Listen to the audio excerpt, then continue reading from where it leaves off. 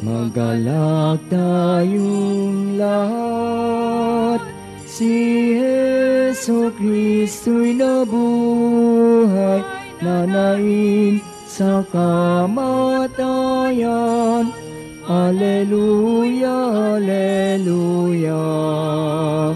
Magalak tayong lahat, si Yeso Kristo'y nabuhay, nanaig sa kamatayan. Aleluya, Aleluya. Magandang umaga po sa inyong lahat. Magandang umaga din po, Father. Bukas po ay araw ni Santo Padre Pio, bagamat ito rin ay Sunday, araw ng ating Panginoong Jesus. Habang tayo ay nagiintay sa napakaspesyal na araw na yan, ngayon naman po ay ating uh, kinaugalian na gawin din ang uh, uh, healing prayer uh, kapag ka Sabado. Lalo na para doon sa mga hindi makakasadya sa or every 23rd dahil sa mga gawain dahil sa mga trabaho. Kaya para po sa mga hindi makakapunta bukas, kayo pong lahat ay aming ipinagdadasal ngayong araw na ito ng Sabado. At ganoon din po sa mga sumusubaybay sa atin sa pamamagitan ng live streaming. Bukas po ang magdiriwang ng banal na misa ay ang lubhang kagalang-galang Gilbert A. Garcera sa umaga at uh, ganoon din po sa hapon ang magmimisa naman po ay si Reverend Father Glenn Cantos para po sa ating uh, healing liturgy. Simulan natin ang pagdiriwang sa ngalan ng Ama at ng Anak at ng Espiritu Santo. Amen. Sumainyo ang Panginoon. At sumainyo rin. Mga kapatid, pagsisihan muna natin ang ating mga nagawang pagkukulang. Humingi tayo ng awa at patawad sa Diyos sa ating mga nagawang kasalanan. Sabay-sabay po nating dasalin, inaamin ko sa makapangyarihang Diyos at, at sa inyong mga kapatid, na lubha akong nagkasala sa isip, sa salita at sa gawa, at sa aking pagkukulang. Kaya isinasamo ko sa mahal na Birheng Maria, sa lahat ng mga anghel at mga banal, at sa inyo mga kapatid, na ako'y panalangin sa Panginoong ating Diyos. Kawan tayo na makapangyarihang Diyos, patawarin tayo sa ating mga kasalanan at patnubayan tayo sa buhay na walang hanggan. Amen.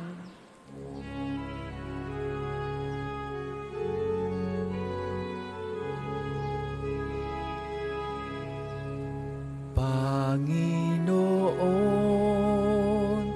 kaawaan mo kami. Panginoon, kaawaan mo kami. Kristo, kaawaan mo kami. Kristo, kaawaan mo kami.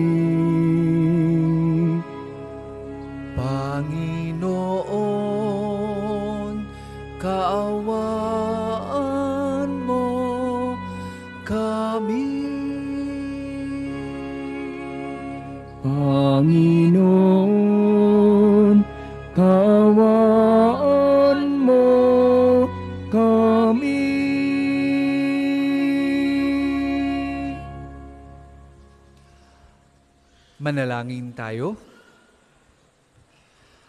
Ama naming makapangyarihan, kaming mga tinubos mo at kinupkop ay tunghayan mo ngayon, lalo na yung may mga karamdaman na naririto ngayon upang magdiwang o makipagdiwang ng banal na misa. Sa iyong kagandahang loob, kami ay sumasampalataya sa anak mong si Kristo makamtan ang kalayaan at pamana sa piling mo, sa pamamagitan niya kasama ng Espiritu Santo, magpasawalang hanggan. Amen.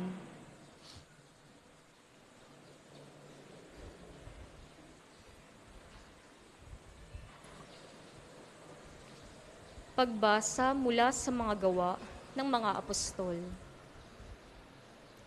Noong mga araw na iyon, dumarami na ang mga sumasampalataya at nagreklamo ang mga Helenista laban sa mga Hebreo. Sinabi nilang ang mga babaeng balo sa pangkat nila ay napapabayaan sa pang-araw-araw na pamamahagi ng ikabubuhay. Kaya tinipon ng labindalawa ang buong kapulungan ng mga sumasampalataya at sinabi sa kanila, Hindi namin dapat pabayaan ang pangangaral ng salita ng Diyos upang mga siwa sa pamamahagi ng ikabubuhay. Kaya, mga kapatid, pumili kayo ng pitong lalaking kilala sa pagiging mabuti, matatalino at puspos ng Espiritu Santo at ilalagay namin sila sa tungkuling ito. At iuukol naman namin ang buong panahon sa pananalangin at pangangaral ng salita. Nalugod ang buong kapulungan sa panukala ng mga apostol. Kaya't pinili nila si Esteban, isang lalaking matibay ang pananalig sa Diyos at puspos ng Espiritu Santo, at sina Felipe, Procoro, Nicanor, Timon, Parmenas at Nicolas na taga Antioquia. Isang hentil na naaakit sa Judaismo. Iniharap nila sa mga apostol. Sila'y ipinalangin ng mga ito at pinatungan ng kamay. Patuloy na lumaganap ang salita ng Diyos at ang sumasampalataya ay parami ng parami sa Jerusalem. At maging mga saserdote, marami ang sumasampalataya. Ang salita ng Diyos. Salamat sa Diyos. Ang tugon po sa salmo, Poon, pag-asa ka namin, pag-ibig mo'y aming hiling. Poon, pag-asa ka namin, pag-ibig mo'y aming hiling. Lahat ng matuwid dapat na magsaya dahil sa ginawa ng Diyos sa kanila. Kayong masunuri, magpuri sa Kanya. Ang Panginoong Diyos ay pasalamatan, tugtugin ng alpat, awit ay saliwan. Poon, pag-asa ka namin, pag-ibig mo'y aming hiling. Panginooy tapat sa kanyang salita at maaasahan ang kanyang ginawa. Minamahal niya ang gawang matapat, ang pag-ibig niya sa mundo'y laganap. Poon, pag-asa ka namin, pag-ibig mo'y aming hiling. Ang may takot sa Diyos ay nagtitiwala sa kanyang pag-ibig, ay kinakalinga, hindi pababayaang sila ay mamatay, at magtatagutom sila'y binubuhay. Poon, pag-asa ka namin, pag-ibig mo'y aming hiling. Magsitayo po ang lahat.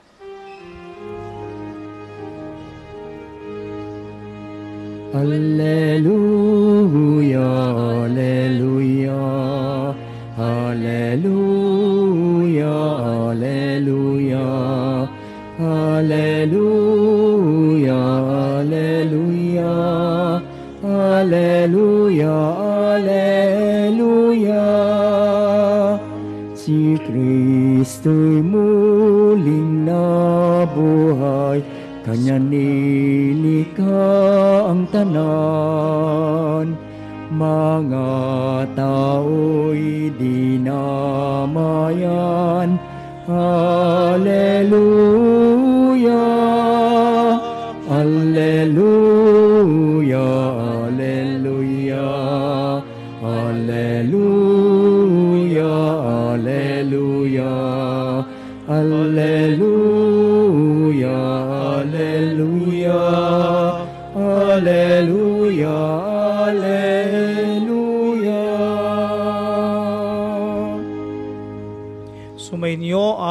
Panginoon, At sumainyo rin. ang mabuting balita ng Panginoon ayon kay San Juan. Papuri sa iyo, Panginoon. Nang nagtatakip silim na, ang mga alagad ay pumunta sa tabi ng lawa, sumakay sa bangka, patawid sa Kapernaum. Madilim na ay wala pa si Jesus. Lumakas ang hangin at lumaki ang alon. Na makagawad na sila ng mga lima o anim na kilometro, nakita nila si Jesus na lumalakad sa ibabaw ng tubig, palapit sa bangka, at sila'y natakot. Ngunit sinabi niya sa kanila, Huwag kayong matakot. Ako ito. Tuwang-tuwa nilang pinasakay si Jesus sa bangka. At pagdaka ay sumadsad ang bangka sa kanilang patutunguhan. Ang mabuting balita ng Panginoon. Pinupuri ka namin, Panginoong Heso Kristo.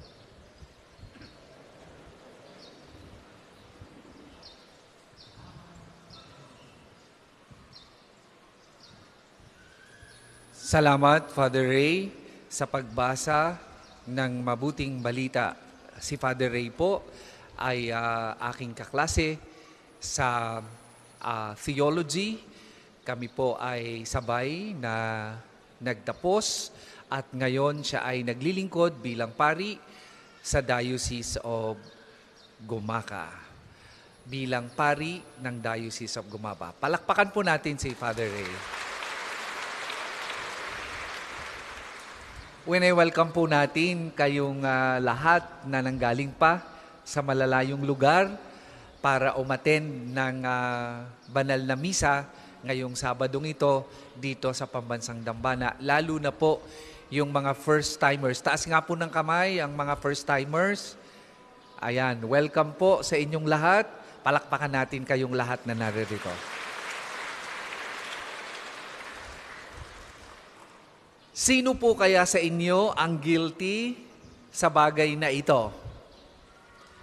Habang nagbabrowse sa Facebook, ay nanonood ng TV. Tapos nakikipag-usap sa telepono, natatawa si ate, ano? Tapos nagluluto at naglilinis ng bahay. Marami sa inyo nagbubulong-bulungan, ano? At hindi lang yon, may kachat pa sa messenger. Natatawa po ako kasi guilty din ho ako kung minsan dito. ako po mga umumpisal sa inyo. Lalo pagka maraming ginagawa ang pari, may tatawag sa telepono, may maghahanap, ano ho, may magme-message sa Facebook, at kung ano-ano pa. Ano ho. At lahat tayo ay nangyayari ang ganyan. Guilty tayong lahat sa bagay na yan. Ang tawag po dyan, is multitasking, right? Part of today's human world is multitasking. Gusto natin o idinidikta sa atin na kapag madami tayong nagagawa at the least possible time, magaling tayo. Okay tayo. Okay ka, okay ako. Magaling ka, magaling ako. Pero alam nyo, while multitasking is okay in some aspects of our lives, hindi sa lahat ng aspeto ng buhay natin ito ay okay. Ang nasa likod na prinsipyo ng multitasking is economics. Gusto namin natin maraming magawa kasi makakatipid tayo ng oras at kung tayo'y nagtatrabaho, kung tayo'y may-ari ng isang pagawaan, mas malaki ang kikitain natin na profit. Kapag ka maraming ginagawa ang isang empleyado sa napakaigsing oras. At dahil sa nagiging lifestyle ito, pati sa buhay, pananampalataya at pakikipagrelasyon natin sa pamilya, ginagawa natin ito. Tingnan ninyo ang inyong mga anak pag nakikipag-usap sa inyo. Habang kayo nakikipag-usap sa inyong anak, nagsusumbong sa inyo ang inyong anak, nang nangyari sa buong maghapon, may kausap kayo sa telepono or may kachat kayo o nanunood kayo ng Korean telenovela. That is multitasking at work. At hindi lamang ito. Habang kayo'y nagdadasal, habang kayo ngayon nakaupo dyan sa inyong inuupuan, ang iba siguro sa inyo ay tumatakbo ang isip. Nabenta na kaya yung ipinagbibili kong kondo? O nabenta na kaya yung property? Tinitingnan ang cellphone at inip na inip. Tagal naman ika ng sermon ng paring yan. That is multitasking at work in the level of faith. At hindi natin alam at hindi natin napapansin, it has slowly crept in into our daily life. Pati sa pananampalataya natin, ginagawa natin yan. End result, ano yan? Distracted tayong malimit. Unlimit nating ma-distract. Kaya mainitin ang ulo. May kausap sa telepono, gustong kausapin ng anak at may problema, sinisigawan pa ang anak. Huwag kang maingay, may kausap ako sa telepono, sayang ito, business deal. That is multitasking at work. Out of focus tayo sa maraming beses nating ginagawa because of that lifestyle. Kahit sa pagdarasal. Wala sa loob ang pagsimba natin. Kasi ang daming gustong gawin ng isip natin habang tayo'y nakaupo sa ating upuan. Kaya alam nyo, kakaunti ang nakakagusto ng devotion sa holy hour. Araw-araw po meron kaming holy hour, 8 to 9. Pero alam nyo, simula nang i-launch namin nito, tatlo, isa, dalawa lang ang uma-attend. Bakit? Mahirap, manahimik, at maging focus. Lalo na ng mga panahon ngayon sapagkat ang lifestyle natin, ang itinuturo na sa atin ng mundo, ay mag-multitask kasi sayang ang oras. Sa unang pagbasa mga kapatid, nag-decide ang community of disciples to divide their tasks, to focus their resources and talents doon sa primary ministry that they were commissioned to do. At ano yun? Ang pangangaral ng mabuting balita. They know that when it comes to faith, focus is very important. At dahil ayaw niyang, ayaw nila na ma-distract sila sa kanilang ginagawang pangangaral, pumili sila ng mga pitong mahuhusay na pagkatao at ugali at may pananampalataya upang huwag silang madistract sa kanilang ginagawa.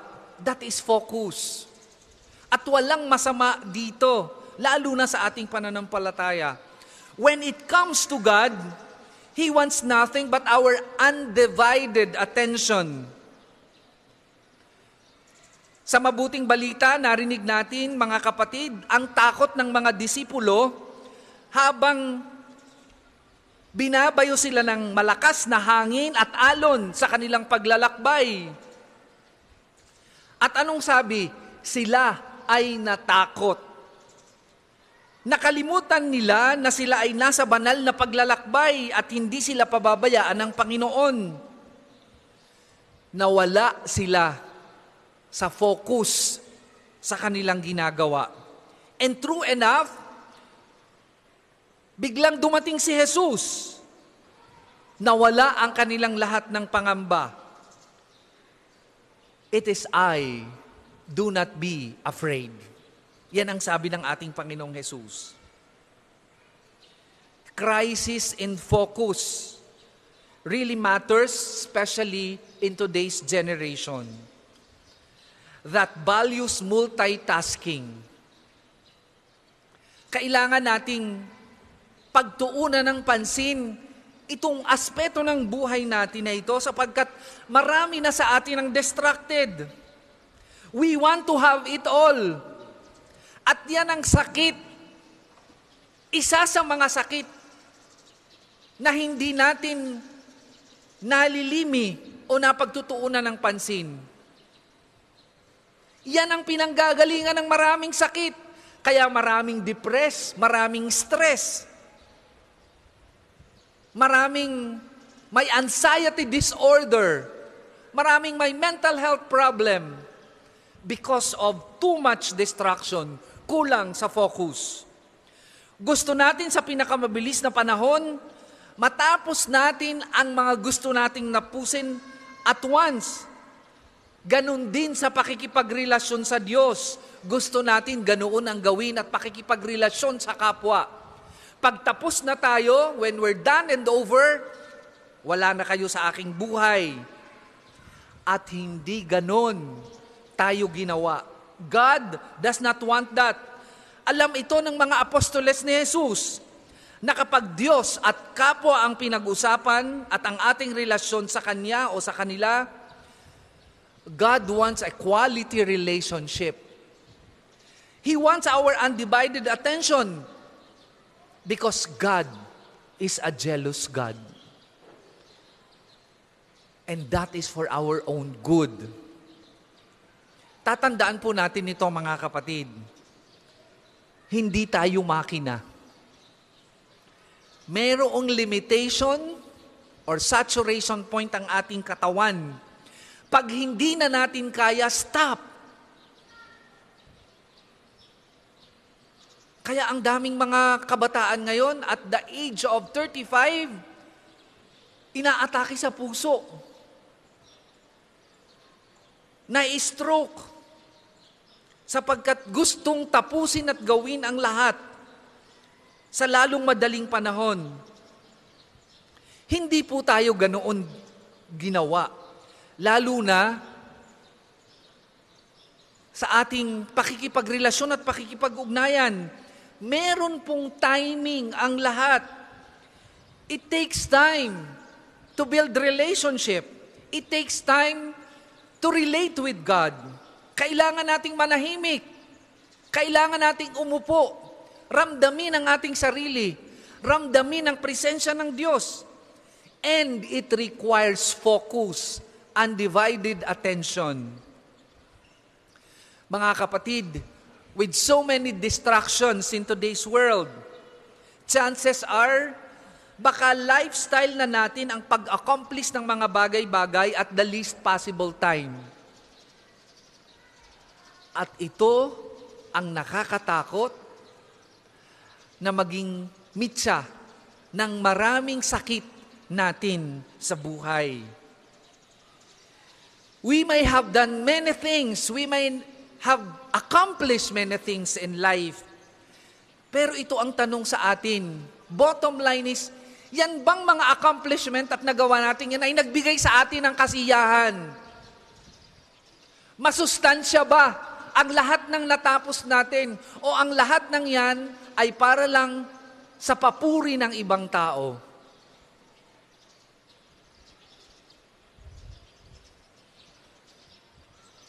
Pakatatandaan natin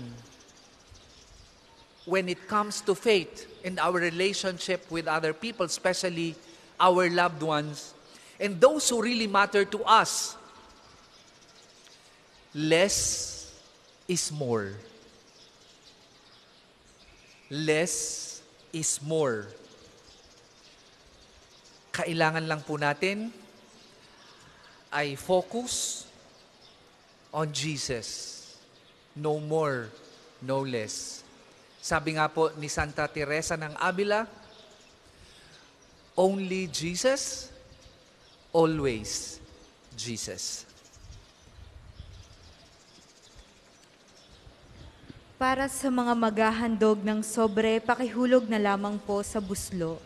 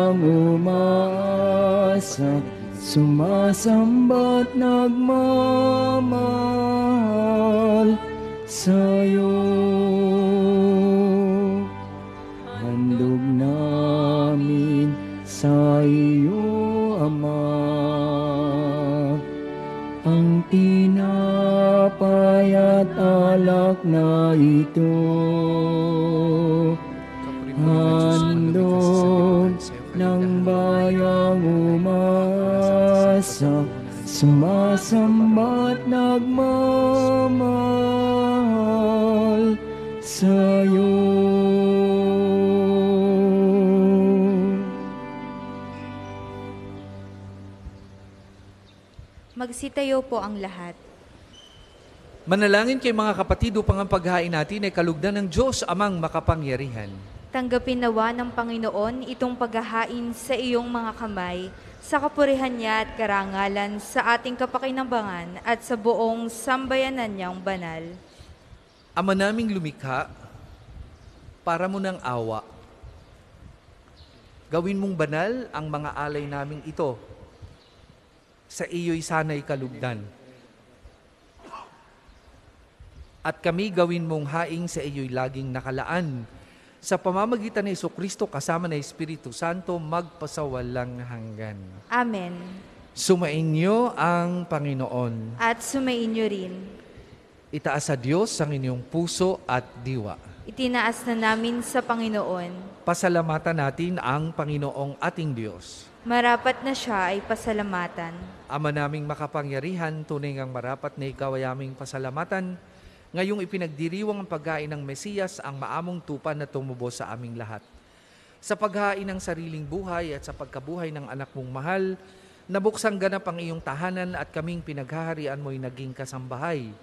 Sa pagkamatay niya sa krus, nalupig ang kamatayan, sa kanyang pagkabuhay, naging buhay siya ng tanan. Kaya kay isa ng mga anghel na nagsisiawit ng papuri sa iyo, nang walang humpay sa kalangitan, kami nagbubunyi sa iyong kadakilaan.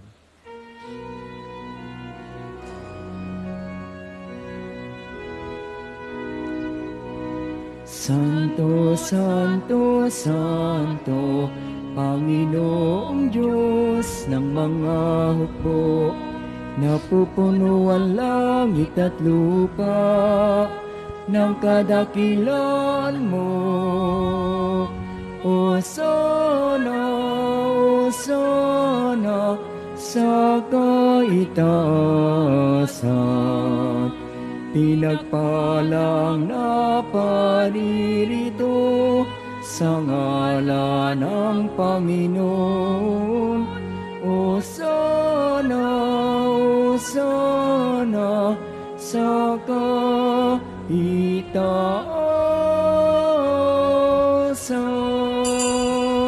hindi kayang lumuhod, manatili pong nakatayo ng may paggalang. Ama naming banal, ikaw ang bukal ng tanang kabanalan.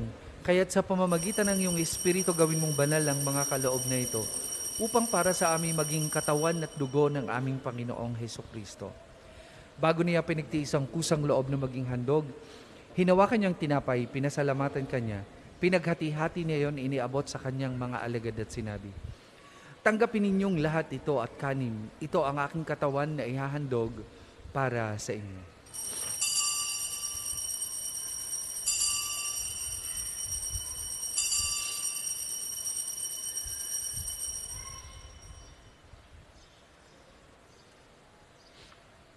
Gayun din naman, nung matapos ang hapunan, hinawakan niyang kalis, muli kanyang pinasalamatan. Iniabot niya ang kalis sa kanyang mga alagad at sinabi, Tanggapin ninyong lahat ito at inumin. Ito ang kalis ng aking dugo, ng bago at walang hanggang tipan. Ang aking dugo na ibubuhos para sa inyo at para sa lahat. Sa kapagpapatawad ng mga kasalanan, gawin ninyo ito sa pag-alaala sa akin.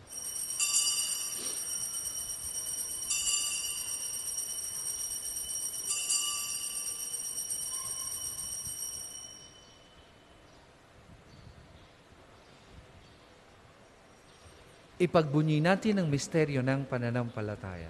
Si Kristo'y namatay, si Kristo'y nabuhay, si Kristo'y babalik sa wakas ng panahon. Ama, ginagawa namin ngayon ang pag-alaala sa pagkamatay at muling pagkabuhay ng iyong anak. Kaya tiniaalay namin sa iyong tinapay na nagbibigay buhay at ang kalis na nagkakaloob ng kaligtasan. Kami nagpapasalamat dahil kami iyong minarapat na tumayo sa harap mo para maglingkod sa iyo.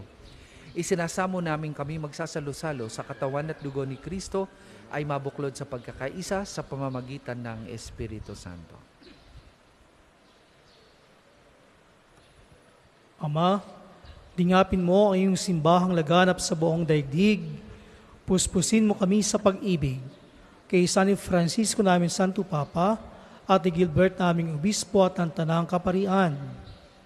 Alalahanin mo ang mga kapatid naming nahimlay na may pag-asang sila'y muling mabubuhay, gayon din ang lahat ng mga pumanaw. Kawaan mo sila at patuloyin sa iyo ang kaliwanagan. Kawaan mo at pagindapan kaming lahat na makasalo sa iyong buhay na walang wakas.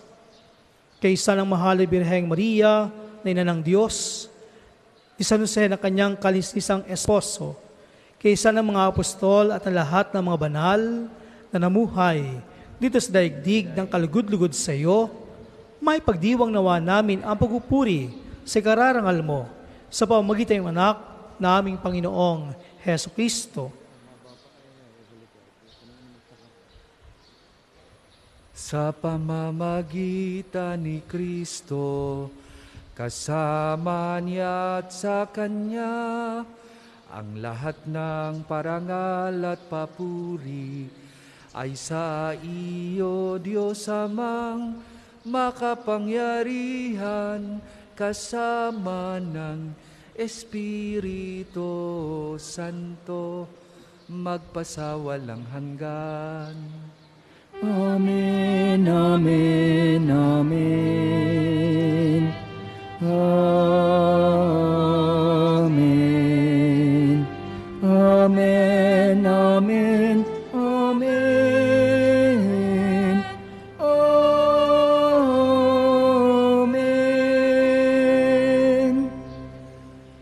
Sa tagubili ng mga nakagagaling na utos at turo ni Jesus na Panginoon natin at Diyos, ipahayag po natin ng lakas loob.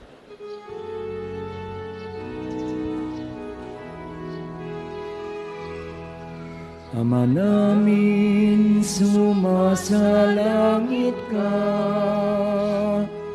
Sambahin ang ngalan mo. Mapasa amin ang kaharian mo. Sundin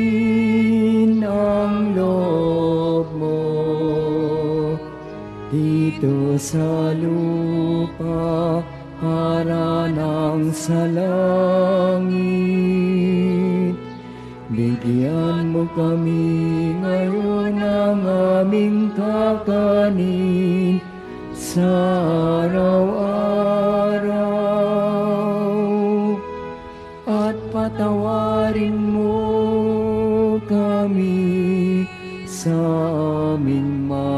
sala para ng pagpapatawad namin sa nagkakasala sa amin. At huwag mo kaming ipahintulot sa tukso at iadya mo kami sa lahat ng masama. Hinihiling namin kami adya sa lahat ng masama, pagkalooban ng kapayapaan araw-araw, iligtas sa kasalanan at ilayo sa lahat ng kapahamakan. Samantalang aming pinananabikan ang dakilang araw ng pagpapahayag ng tagapagligtas naming si Heso Kristo. sapagkat iyo ang kaharian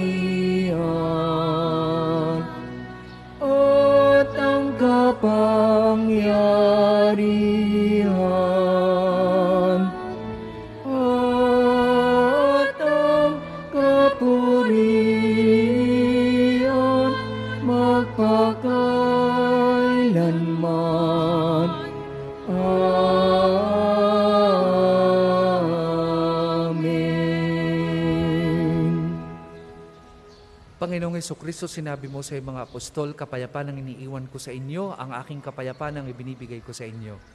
Tunghayan mo ang aming pananampalataya at huwag ang aming mga pagkakasala. Pagkalooban mo kami ng kapayapaan at pagkakaisa ayon sa iyong kalooban, kasama ng Espiritu Santo, magpasawalang hanggan. Amen. Ang kapayapaan ng Panginoon ay lagi pong sumainyong lahat. At sumainyo rin. Magbigayan po kayo at maghangad ng kapayapaan sa isa't isa. Kordero ng Diyos na nag-aalis ng mga kasalanan ng sanlibutan, maawa ka sa amin. Kordero ng Diyos na nag-aalis ng mga kasalanan ng sanlibutan, maawa ka sa amin.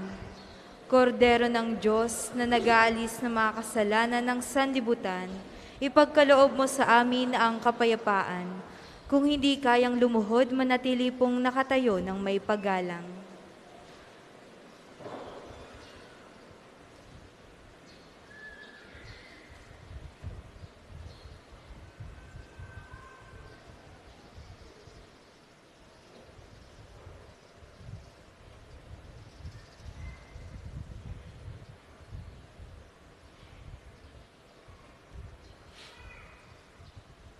Mga kapatid, ito ang kordero ng Diyos.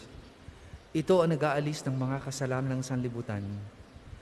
Mapalad ang mga inaanyayahan sa kanyang banal na piging. Panginoon, hindi ako karapat-dapat na magpatuloy sa iyo, ngunit sa isang salita mo lamang ay gagaling na ako.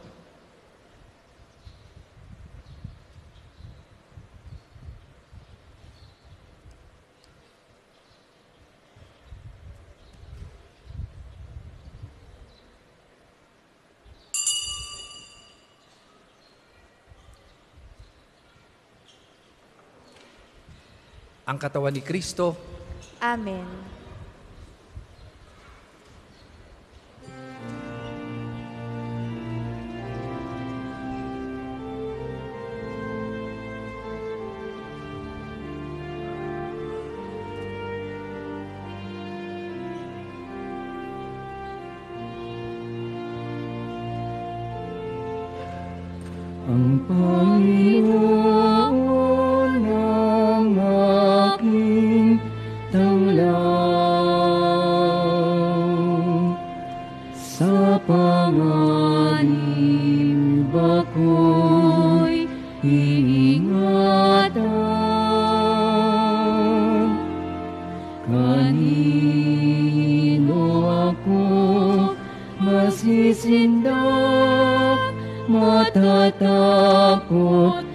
Kung ako'y lagi nasa piling niya.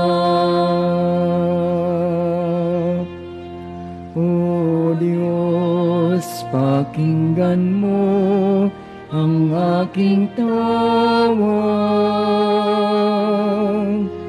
at sa aking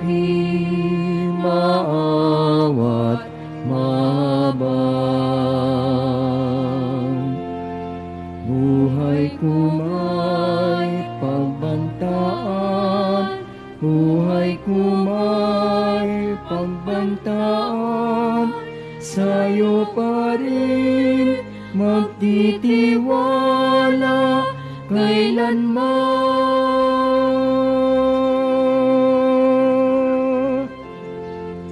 Ang Panginoon ang aking tanglaw. Sa panganib ako'y iingatan.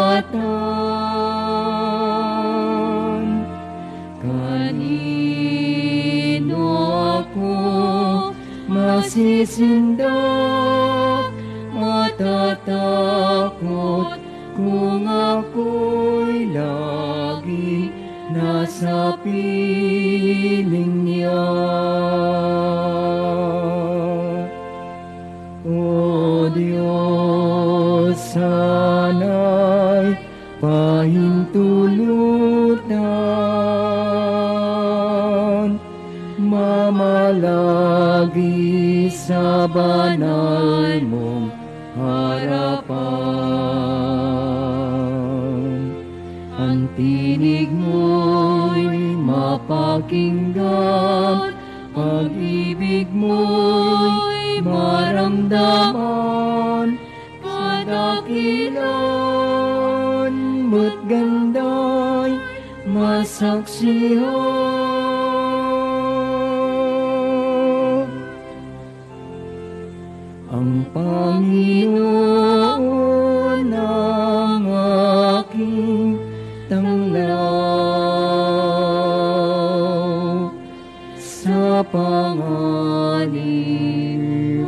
Ako'y iingatan. Kanino ako masisindang matatakot kung ako'y laging nasa piling niya.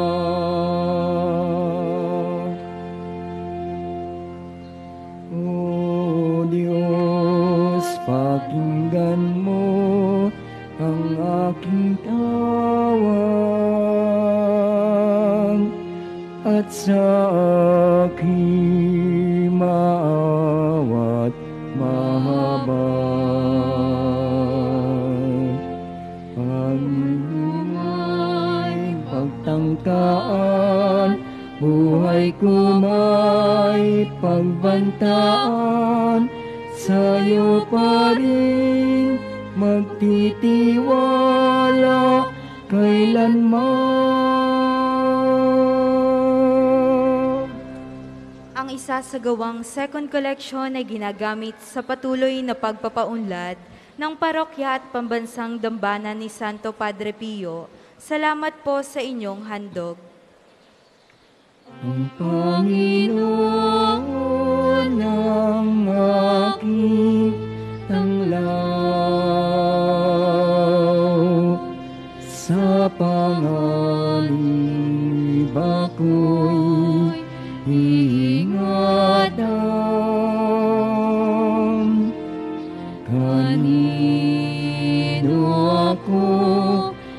masisindak, matatakot kung ako'y laging nasa piling niya.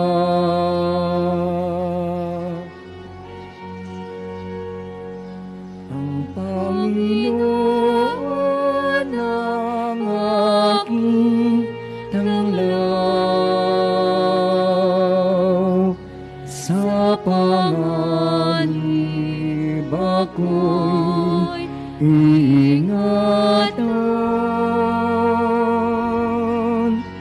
Kanino ako masisindak, matatakot kung ako'y laging nasa piling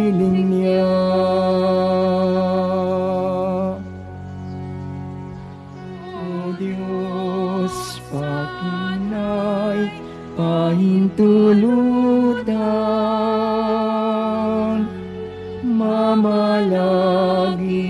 sa banal mong harapan. Kung ibig mo'y mapakinggan, pag-ibig mo'y maramdaman, kadakilan mo't ganda'y masaksiyan.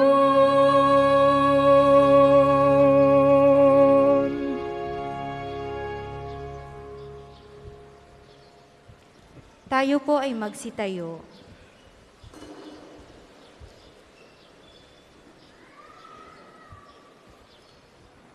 Manalangin tayo.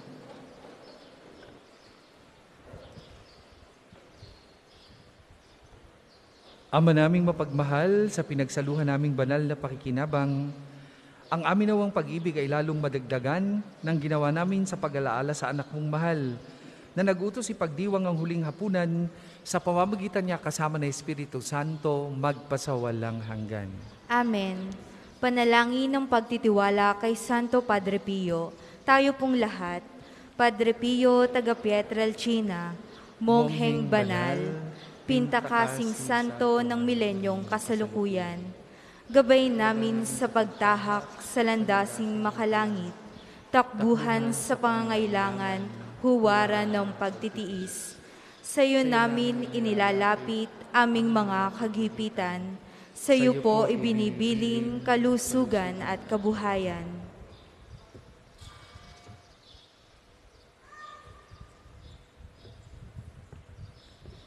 Di man karapat-dapat kami po ay pagbigyan, bendisyonan at basbasan, maging ganap sa buhay. Lumayo nawa kami, umiwas sa kasalanan, lumapit lagi sa Diyos, maging matatag at matibay. Sa mabuting balita ng pagliligtas, turuan mo kami nawa, sa tuwina ay makinig, magnilay at sumampalataya. Amin pong pakiusap itong mga kahilingan. Puso ay nagsisisi, nagtitikang taimtiman. Di na muling magkasala, sunod lagi sa Diyos Amang, kaisa ng Espiritu at ni Jesus na tagapamagitan. Amen. Magsiupo ang lahat para sa ilang patalastas. Una, sa inyong pagdalaw sa pambansang dambana, mangyaring pakaingatan ng inyong mga personal na gamit. Hangad namin ng isang matiwasay at maayos na pagbisita sa National Shrine. Ikalawa, mga kapiyo, kung inyo pong mapapansin ay sira na at kailangan ng ipagawa ang extension area sa, pamagit, sa pagitan ng main church at Divine Mercy Sanctuary. Muli po kaming nananawagan sa mga may mabubuting puso na nagnanais maging bahagi ng pagawaing ito. Mangyaring makipag-ugnayan po kayo sa opisina ng parokya o sa pamisahan para sa inyong mga tulong at donasyon. Kaugnay po ng isinasagawang blessing at grand opening ng ating Kapio Osteria at mahigpit tayong pinaaalahanan sa ating panawagang Clego or Clean As You Go sa lahat ng lugar sa loob ng pambansang dambana, lalo't higit sa Osteria. Ipinaalam din po sa lahat na gamit ang ating main arch entrance, tayo po ay mga mala- may mga malalaking free parking dito sa loob ng pambansang dambana.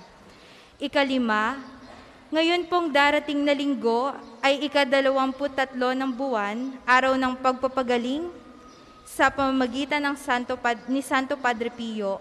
Ang mga healing masses po ay at healing liturgy na may pagpapagawad ng langis ay sa ganap na ikasiyam ng umaga at ikalima ng hapon. Wala pong misa ng ikaapat ng hapon at ikaanim ng gabi.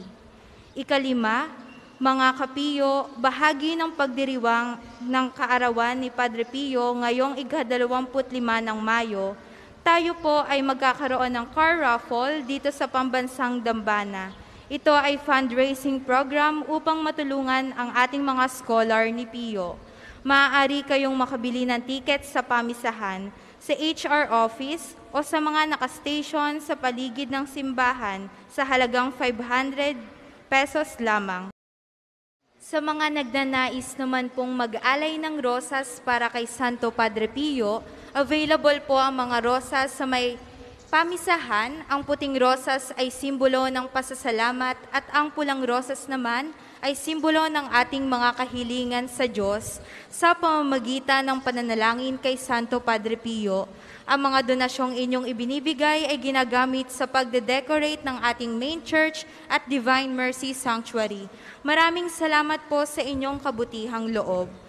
Ang susunod po nating misa ay sa ganap na ikadalawa, ikalabindalawa ng tanghali. Maraming salamat po at mangyaring panatilihin natin ang kalinisan, katahimikan at diwa ng pananalangin sa loob at labas ng ating mga simbahan. Magsitayo na po ang lahat para sa pagbabasbas ng religious articles.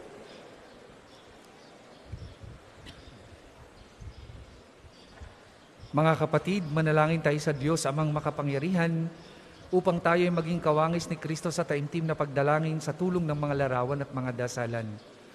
O Panginoong Diyos, Ikaw ang bukal ng lahat ng pagpapala at biyaya. Ibuhos mo ang iyong bendisyon sa mga gamit na ito sa pananalangin, mga rosaryo, imahin, dasalan na nagpapalaala ng iyong kabutihan, kabanalan, pagmamahal sa amin. Upang lahat na dumulog at magdasal, gamit ang mga ito ay magtamo ng iyong awat biyaya. Lobin mong tularan li ang kabanalan at aral ng Panginoon at mga santo magpasawalang hanggan. Amen. Ama namin, Sumasalangit ka, sambahin ang ngalan mo, mapasa amin ang kaharian mo, sundin ang loob mo dito sa lupa para ng sa langit. Bigyan mo kami ngayon ng aming kakanin sa araw-araw, at patawarin mo kami sa aming mga sala, para ng pagpapatawad namin sa nagkakasala sa amin. At huwag mo kaming ipahintulot sa tukso, at iadya mo kami sa lahat ng masasama. Amen. Abagi noong Maria, napupuno ka ng grasya. Ang Panginoong Diyos ay sumasa iyo. Bukod kang pinagpala sa babaeng lahat, at pinagpala naman ang iyong anak na si Jesus. Santa Maria, Ina ng Diyos, ipanalangin mo kaming makasalanan, ngayon at kung kami mamamatay. Amen. Luwalhati sa Ama, at sa Anak, at sa Espiritu Santo, kapara ng unang-una, ngayon, at magpasawalang hanggan. Amen. Ama namin, sumasalangit ka, sambahin ang ngalan mo, mapasa amin ang kaharian mo, sundin ang loob mo dito sa lupa para ng sa langit.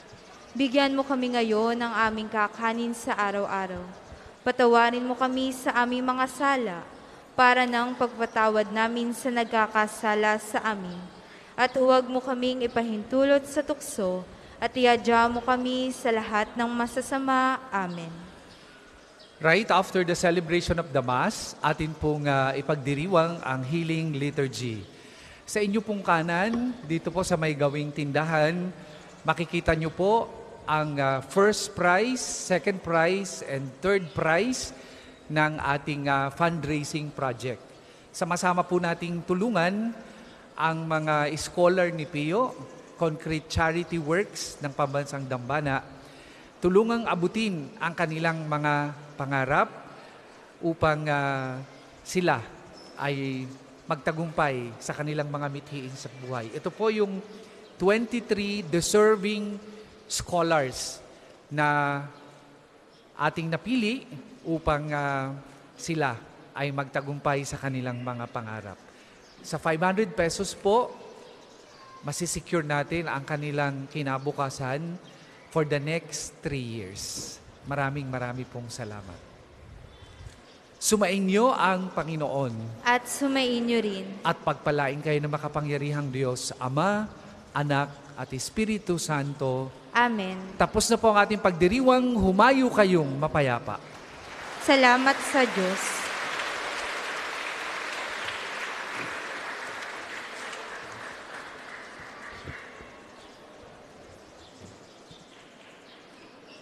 Atin po ngayong aawitin ang pambungad na awit kay Santo Padre Pio.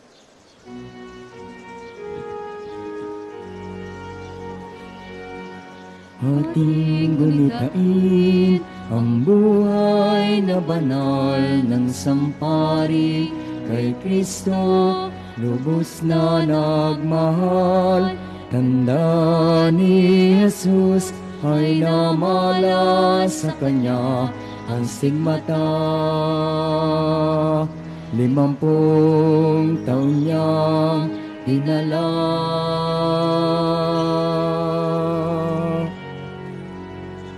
Di alintana ang sakit at paghihirap, buhay inilaan sa pagkalinga sa kapwa. Siya'y nakilala sa kumpisal at pagmimisa, pagkat sa Kanya ang pag-ibig ng Diyos ay nadama.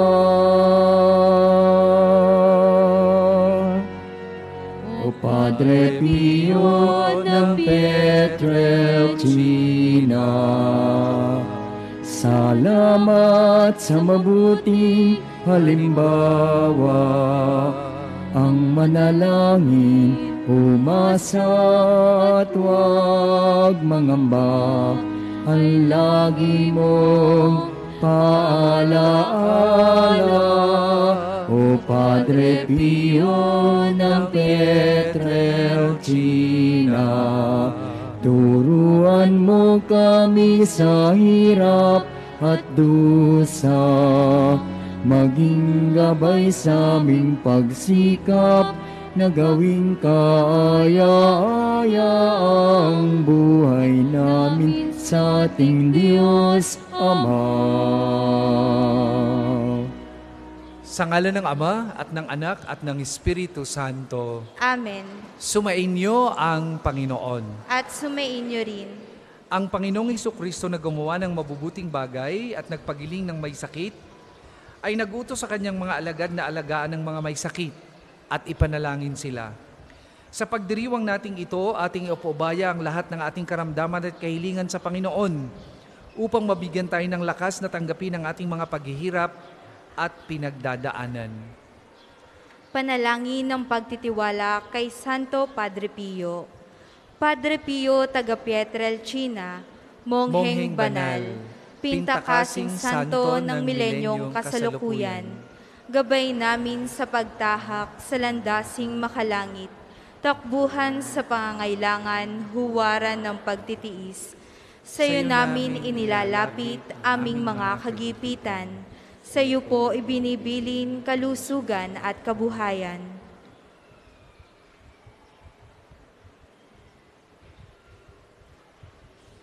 Di man karapat-dapat, kami po ay pagbigyan, bendisyonan at basbasan, maging ganap sa buhay.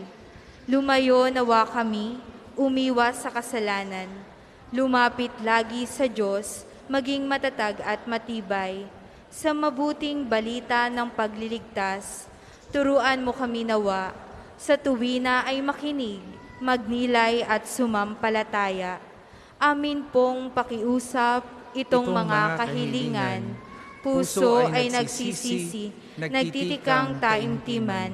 Di na muling magkasala, sunod lagi sa Diyos Amang, kaisa ng Espiritu at ni Jesus na tagapamagitan. Amen. Iyuyuko niyo po ang inyong mga ulo. Makapangyarihang Diyos na walang hanggan, Ikaw ang aming Panginoon at butihing Ama. Sa iyong pagpapala, ipagkaloob mo ang lakas sa aming kahinaan. Tunghayan mo po ng may kagandahang loob kaming mga lingkod mong may sakit. Pagalingin mo po sa aming mga karamdaman at ibalik sa kalusugan upang mabatid namin ang iyong kabutihan at kami magpasalamat sa iyong banal na pangalan. Hinihiling namin to sa magitan ni Kristong aming Panginoon. Amen.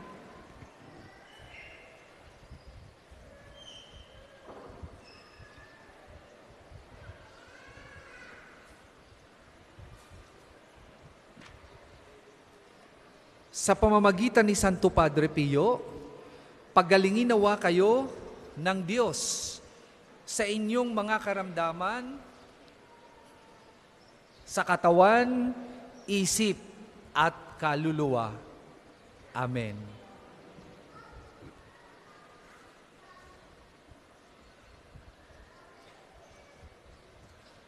Sa ngalan ng Ama at ng Anak at ng Espiritu Santo. Amen. Amen.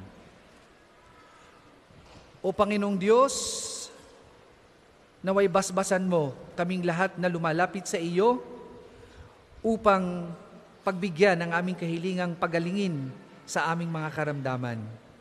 Loobin mong kaming lahat ay matularan ang kabanalan at aral ng Panginoon ng mga santo magpasawalang hanggan. Amen. Amen. Ama namin, Sambahin ang ngalan mo, mapasa amin ang kaharian mo, sundin ang loob mo dito sa lupa para ng sa langit. Bigyan mo kami ngayon ng aming kakanin sa araw-araw at patawarin mo kami sa aming mga sala para ng pagpapatawad namin sa nagkakasala sa amin. At huwag mo kaming ipahintulot sa tukso at iadya mo kami sa lahat ng masasama. Amen. Aba, Ginoong Maria, napupuno ka ng grasya. Ang Panginoong Diyos ay sumasa iyo.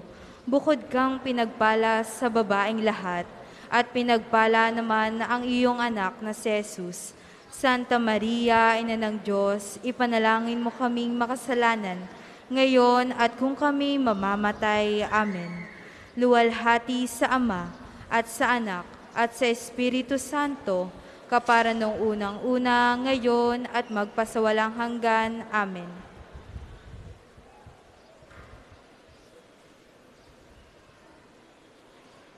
sumainyo ang Panginoon At sumainyo rin. at pagpalain kayo ng makapangyarihang Diyos, Ama, Anak at Espiritu Santo, Amen. humayo kayong mapayapa. Salamat sa Diyos.